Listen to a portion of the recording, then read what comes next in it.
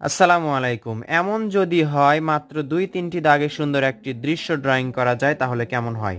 দেখুন, এখানে দেখতে পাচ্ছেন একেবারে নিচে, একেবারে মাঝে একটি দাগ দিলাম, হালকা করে যেন বুঝতে পারি আমরা। তার থেকে একটু সরে এইভাবে উপর দিকে একটু দাগ টেনে উপরে এটুকু এটার সাথে মিলে দিলাম।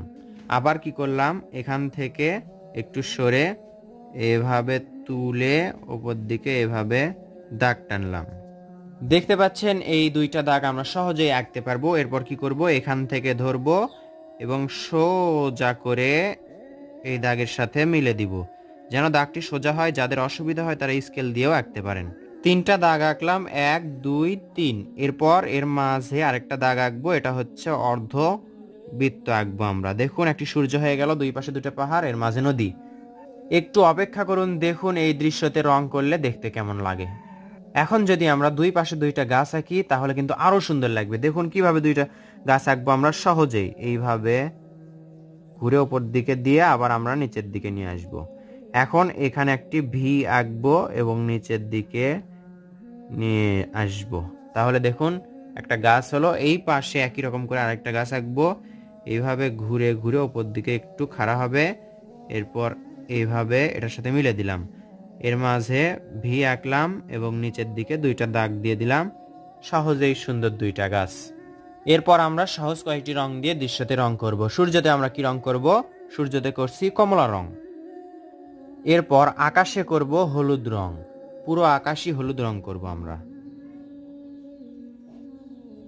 পুরো আকাশ হলুদ রং করে উপরের দিকে আমরা একটু ফাঁকা রাখব। এবার ফাঁকা অংশে এই সূর্যতে করা কমলা রংটি নিয়ে এই হলুদ রঙের সাথে মিলে দিতে হবে। রং করার পরেও দেখা যাচ্ছে হলুদ রঙের সাথে এই কমলা রংটি মিলছে না, এজন্য আবার হলুদ রং নিয়ে এভাবে ঘুষতে হবে। তাহলে কমলা এবং হলুদ রংটা মিলে যাবে। হলুদ হলুদ রং দিয়েই কিন্তু ঘুষতে হবে। দেখুন, এখন দেখুন, হলুদ রঙের সাথে কমলা রংটি মিলে যাচ্ছে। যদি সূর্যতে এভাবে সূর্য রশ্মি আঁকতে পারেন, তাহলে আরও সুন্দর দেখাবে। একটা ছোট এবং একটা বড় করে।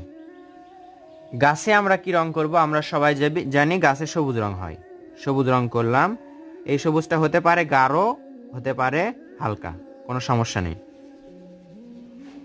এরপর রং করব গাছের ডালে। গাছের ডালে কি রং করব আমরা? দেখতে পাচ্ছেন, এটা হচ্ছে খয়েরি রং। দুই গাছের ডালে এবং পাতাতে আমরা একই রঙই করলাম। এরপর আমরা নিচের নদীতে রং করব। নদীতে কি রং করব? এটা দেখতে পাচ্ছেন আকাশি রং, হালকা নীল রং। এখন শুধু আমাদের একটা রং করা বাকি, সেটা হচ্ছে এই দুই পারে।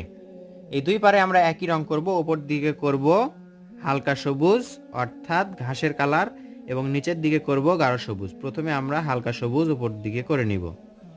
দেখতে পাচ্ছেন, ওপর দিকে হালকা সবুজ রং করার পর নিচের দিকে আমরা গাঢ় সবুজ করার জন্য ফাঁকা রেখেছি। একেবারে গাঢ় সবুজ না, এই ওপরের যে রংটা আছে তার থেকে একটু গাঢ়। রংটা উপরের রঙের সাথে মিলে দেওয়ার চেষ্টা করব। তো বন্ধুরা, অল্প সময়ে এবং সহজ কৌশলে সুন্দর এই দৃশ্যটি এঁকে এবং রং করে দেখালাম আপনাদেরকে।